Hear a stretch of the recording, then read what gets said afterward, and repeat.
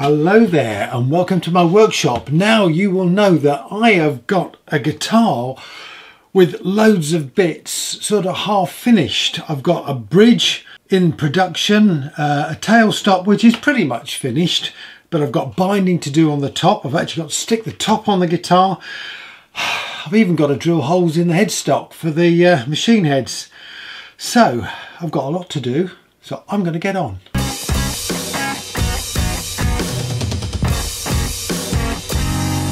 Whew. Not sure how we're going to do this. Hi folks, before I carry on with this video, I just want to do a mention to another fellow amateur guitar builder called Gabriele Rêti. Um, she's a, a, lady, I believe in Germany, who's a, a school teacher and uh, she's also an amateur guitar builder. And she's uh, set about a wonderful project to uh, teach her students how to build guitars. Uh, now, in order to do that, she's got to raise some money and uh, she's going to build a couple of acoustic guitars which she's going to sell all I would say to you guys is please go across and have a look at her channel. She's a fantastic acoustic guitar builder, wonderful guitars, and I think this is a wonderful project. And so I'll put a link in the description below and I'll also put a link at the end of this video to uh, her video where she describes the project. Back to this video. I'm going to start with the binding and I've been trying to decide what to do here. Do I do a mitre joint or do I do a butt joint? And I think I'm just going to do a butt joint. Or am I? You see, in my pot of shell bits, I've got some thick pieces. And I'm just wondering whether I could insert a little piece of shell just between the two bits of binding right on the end there. I think that would look really smart. Okay, let's have a go. You see, when I showed my uh, granddaughter the neck, her first reaction was, wow, granddad, diamonds. Now, I know they're not diamonds, but they do have that little shine about them. And I think something on the end there would look really good. In fact, if I could find a really interesting piece, and that one looks quite interesting, I wonder what it's like when I cut through it, I don't know. But if I could find an interesting piece, I might even be tempted to sort of go into the, the top a little bit. That might be quite good fun, mightn't it?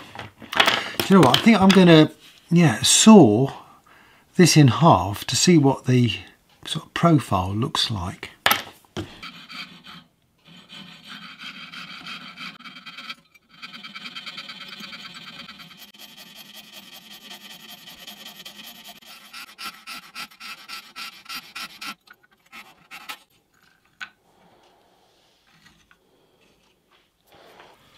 Okay, well that was quite a chunk to chop through.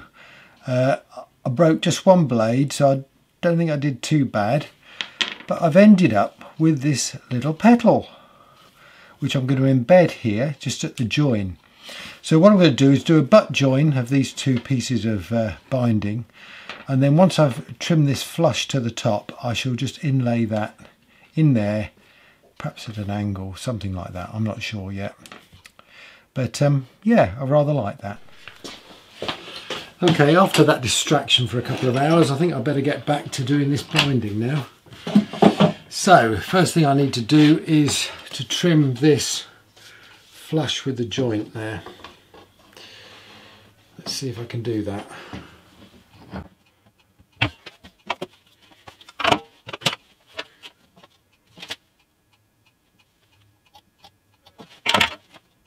Don't worry about that little target mark on the back there. It's where I had a clamp pressed a little bit too hard. It's actually not marked the wood. It's actually the vinyl flooring that I used has uh, come off onto the wood. So here we go.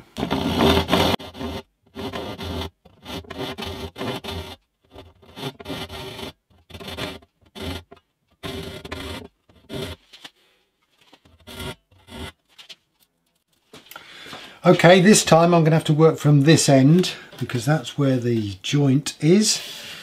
and take it across there. Okay, so I think we'll do the same technique as I did before. That is glue and uh, stick on as we go.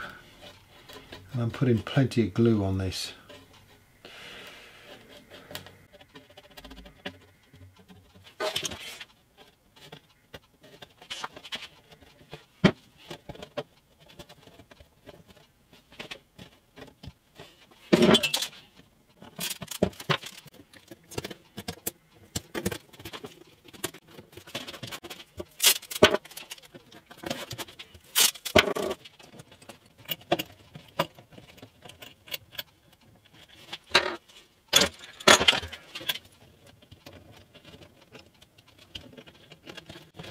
Looks okay. I can't see any light coming through. So um, all I could do is leave that to cure. Okay now so I've put some very thin super glue all the way inside the uh, the bridge parts there just to strengthen that wood a bit give a bit of a hard edge to it. So I'm going to leave that to dry. I think what I'm going to do now is see if I can cut out the outside shape from another piece of Ovangkol. I was going to use this piece but I noticed there's some uh, shakes or splits in it on this side. It, I mean it looks alright that side but I'm not sure about that. This one I think is probably a better option. Got some nice grain there as well so uh, I think um, I think I'll try and mark it up at this end. I'm getting rather fond of this, what you might call a um, masking tape and sharp knife trick. So masking tape on first, like so, and we put the template on now what I should do, what I am going to do, is put a little bit of masking tape on the back of there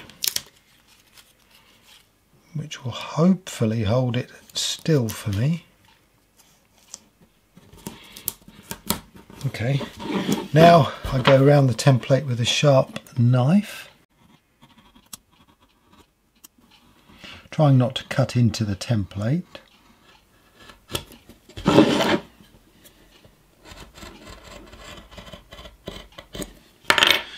Once that's done, we lift the template off.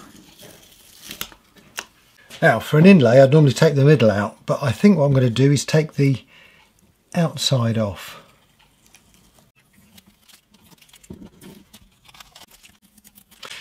Leaving me a nice sharp edge to work to.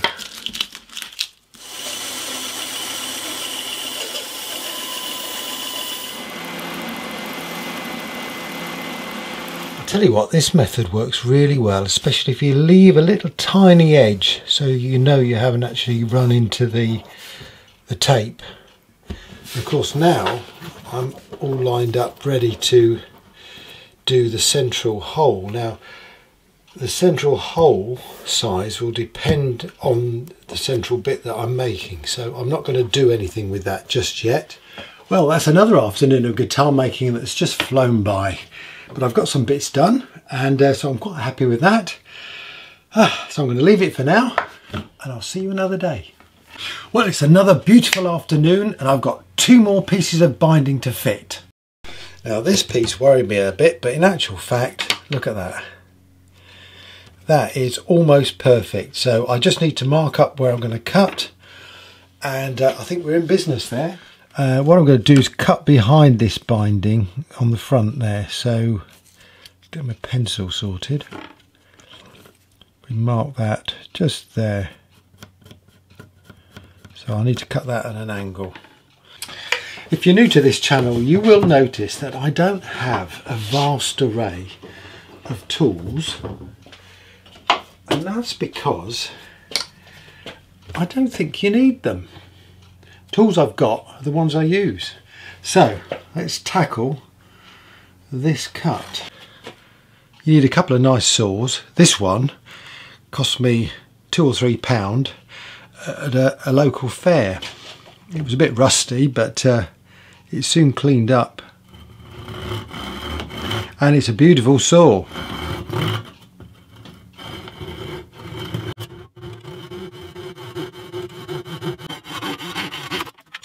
Okay, I've got the work in the vise, I've got some strips of tape, I've got glue, I've got some clamps. Let's see if we can glue it.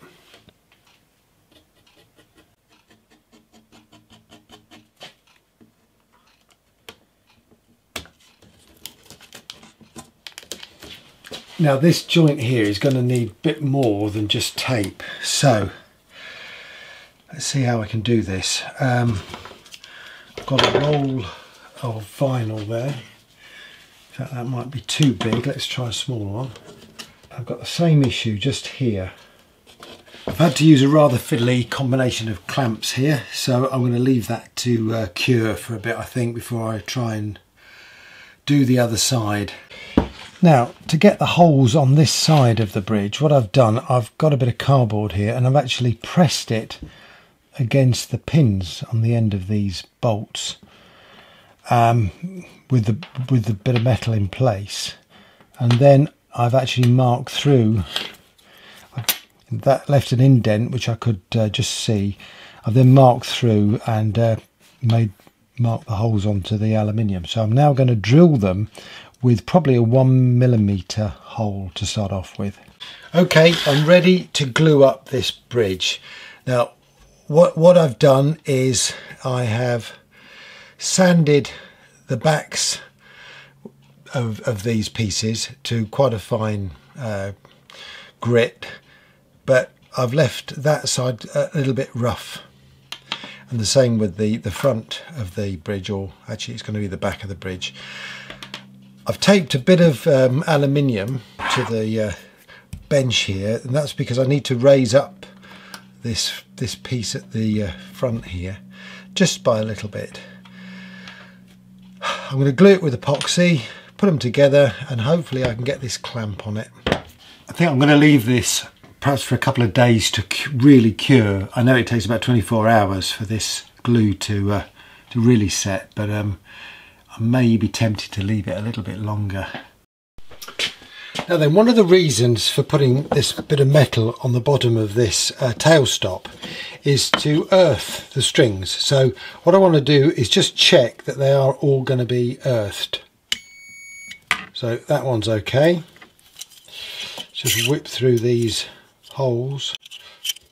Just check it. No, not getting anything there. That means that the uh, the end there isn't going in deep enough. Okay. Well, I'll be perfectly honest with you. I've spent the last few minutes poking strings through this tailpiece and testing for a connection to the metal underneath. And, uh, well, I'm not getting any connection. So, my plan A uh, doesn't seem to be working. It's a good job I've got a plan B but now I'm off to make a Thai green curry. See you tomorrow. Well, I've spent a couple of hours this afternoon just first of all scraping the uh, the binding flat with the top. Uh, I, I, used a bit of sandpaper in the corners so as not to disturb the corners. I also gave the top a really good sanding on both sides. It's looking reasonably good and it fits reasonably well on the top, which is a, a good thing. So I think the next thing to do with this top is to cut the sound hole. But I'm not sure I'm ready to do that just yet. So what I think I'm going to do is go back to the bridge and start working on the surround of the bridge. The first thing I need to do is to cut out a shape from some very thin aluminium now this is going to be uh, the uh, shape of the outside of the bridge, it's going to be a little bit smaller so that I can inset it underneath the bridge. And the idea of this is that the screws for adjusting the height of the bridge will rest onto this plate. Once I've cut that out, I can then mark that on the bottom of the wood and then just chisel out an indent. Well, uh, it was another fiddle, but there we have the back in there. I've lost a little bit of wood on that side which um, probably not unexpected. But um, once it's put flush on the guitar, whoopsie daisy, I think it's going to be okay. Of course, I've got the added complication of the uh, top of the guitar being slightly curved, so I may have to revisit this and um, yeah, shape it a little bit more. But um, I've got the general shape done.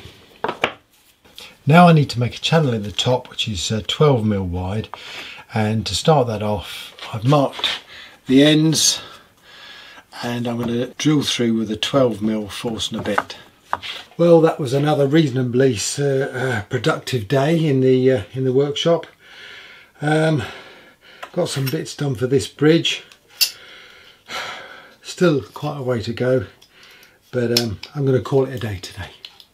Well, it's another beautiful sunny afternoon and I'm back out in the workshop and now I'm going to cut out the sound hole. And to do that, I've taken the design that Carolyn's drawn for me and I've just gone round it with uh, some French curves to, to get a much uh, better line. Um, now what I'm going to do is cut it out um, with a knife and on the back here I've stuck some cardboard so I can make myself a template.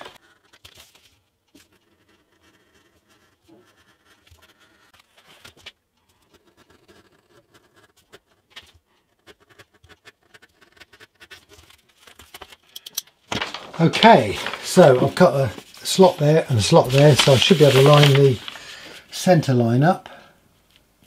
I can see it. Very, very faint.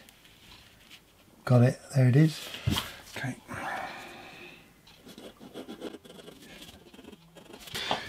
I've got a fly in the workshop, which is uh, very annoying. But at the moment, it won't go.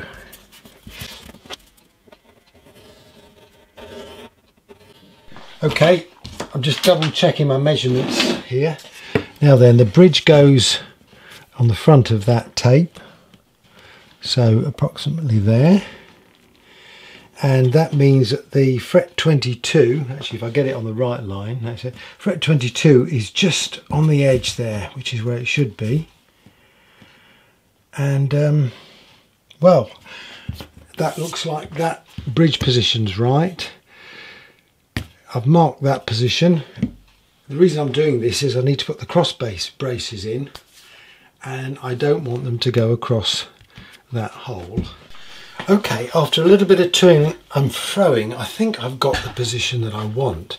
And this is interesting because if I now place this roughly in the centre there, what you should see, he said looking down the back of the camera, is that there's a beam or a, a brace right underneath each one of these holes, which is significant in that the the bolt that's going to be raising and lowering this middle section will be pressing down on those points. So hopefully any sound will transfer across the top. Well we'll see won't we? I've got the two pieces to length. Now I need to chop them in just there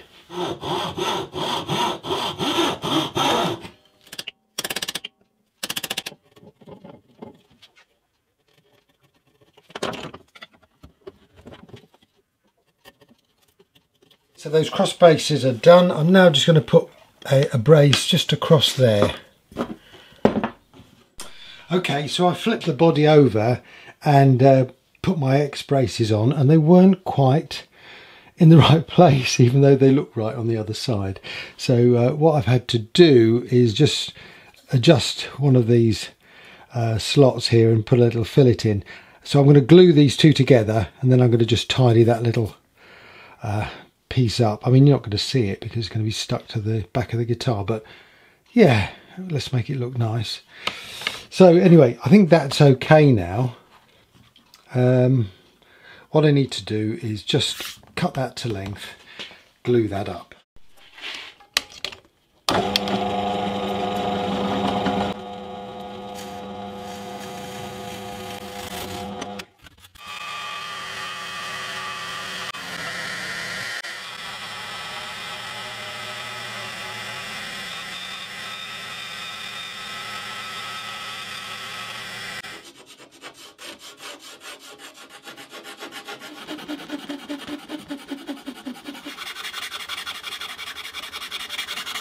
Now then, I'm ready to glue the braces onto the back. So I've marked out the position of the guitar in red and I've made myself some little clamping cauls just by sticking some of the brace material on the back of a piece of plywood.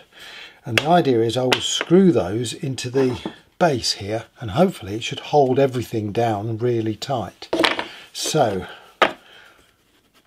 let's see if it works I've got some uh, 3.5 centimeter screws. I've got the X brace. Get that in the right position.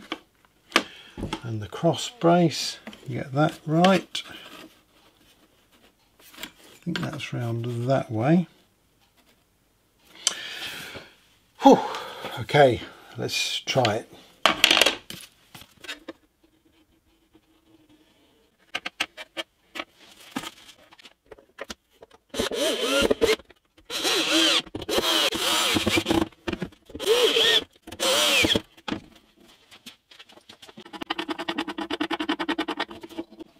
Well, that took about six or seven minutes to clamp up. Um, all I can do now is uh, leave it to cure. Right, now I've glued this middle section of the bridge and it's not the prettiest thing I've ever made, but uh, most of it's going to be hidden. I'm going to cut the end pieces off and round them on the uh, sander uh, and then I'm going to cut the central piece out so that this fits into it nice and snug. Okay, I'm just going to very carefully go around this with a scalpel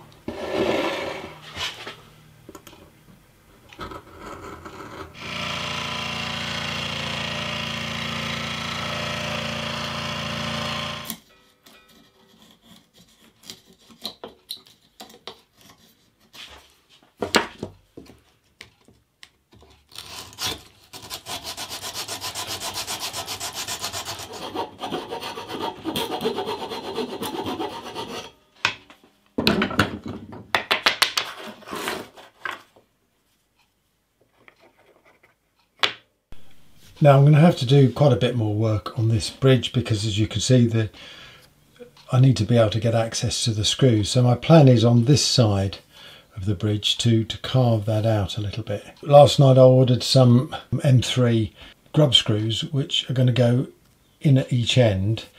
I really need to wait for those to come before I drill any holes and try and do some threading in the bottom there. So I think I'm going to put this bridge to one side and um, I think the next thing I need to look at is how the neck's going to fit the body.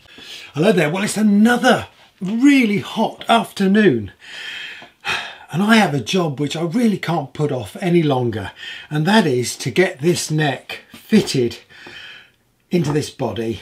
I, I need to do that before I can set the height of the bridge or, or, or do anything else. So yeah, bite the bullet Dave, you've got to get on and do it. So First thing I'm going to do is take this top off. Need to get some measurements sorted. Need to know the position of the 22nd fret. And to do that I'm going to lay this template on top of the ribs. Yeah, so that I can get the position.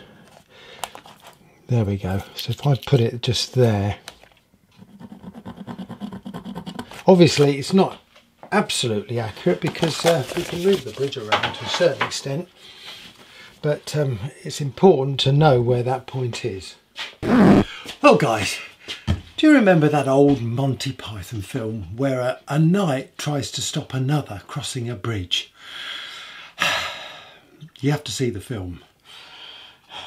It's like that with this neck. Now some folks said bin it and well they were probably right.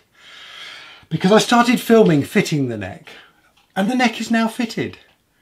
But in the process of doing that, I realised that uh, I'd made a really big Dave moment. Let me show you. You'll see that when I carved the back of this neck, I went too far along. I didn't take account of the fact that the the top of the guitar sticks out more than the bottom. And so I've got a rather interesting problem to deal with. But I am going to deal with it. Now from the front I'm really pleased with the way that this is all looking so that's a positive isn't it?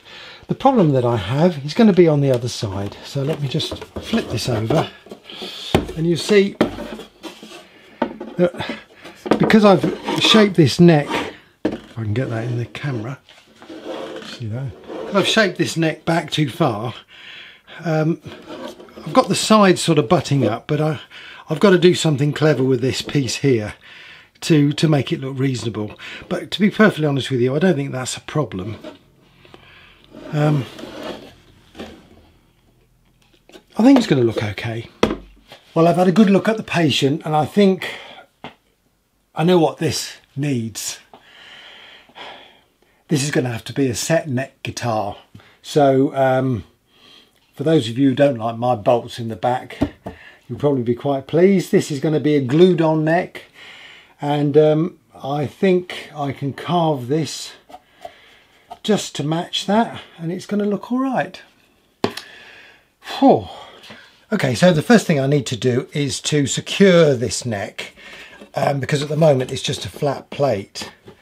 And so what I've done I've marked in pencil where the neck sits and now I'm going to put some blocks of wood on the sides here. I've been very keen not to get anything that touches the top because I wanted to try and keep the vibrations there um, but I think I can do that so let's go and have a look for some cherry.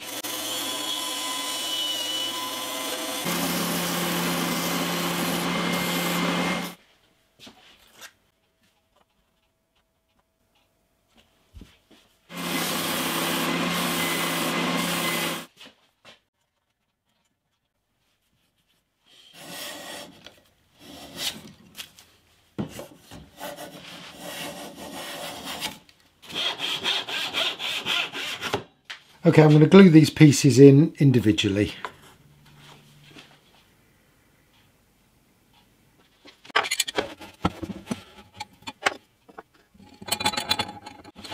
Okay, well it's an extremely hot day and uh, obviously things haven't gone quite to plan so uh, I'm going to call it a day and um, I'll come back to this tomorrow to stick the other piece in. Good morning. Well, it's another really hot day here. Now then, I have no confidence in myself, do I? Which is a rather strange thing to say, you know, being a YouTuber, because I mean, you see what I do, walks and all, and quite honestly, sometimes it scares me what I do. Anyway, this morning we're up nice and early and we've been for an eight mile bike ride and got the blood pumping around the brain and I think I can fix this neck problem. What I've done, I've put some inserts round the, the uh, where the neck's going to fit and I've also put a little insert in just to help me get over the problem that I've got with the shape of the, back of the neck. I'm going to bolt this neck on. You know, that's the decision I made early on and um, I'm going to stick to it. So let's get on. Right, in order to make the neck fit, I'm going to have to shape this little piece of wood. So I think I'll start doing it with the Dremel and um, then perhaps some files to get it um, just exactly right.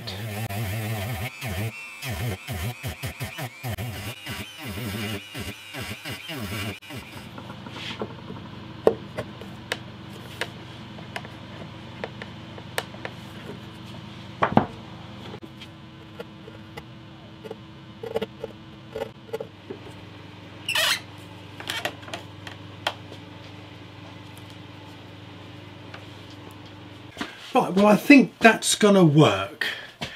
Um, I had a little problem in that I'd originally super glued it on and in the final finishing I poured a little bit of extra super glue in uh, with some dust and obviously that loosened the super glue. So um, I've cleaned it up and I've glued it on with wood glue.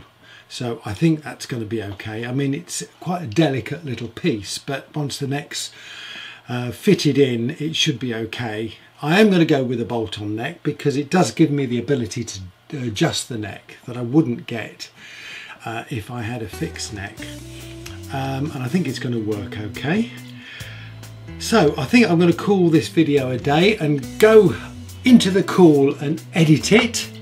so thank you very much for watching. Don't forget to go and see uh, Gabriele's video. Uh, put a link on at the end of this video. And um, in the next video, I'm going to be featuring a guitar that you have built. Uh, it's a, a, friend of this channel. And so uh, it's a really super guitar. Um, so please join me for that. But in the meantime, stay safe. I'll see you soon. Cheers.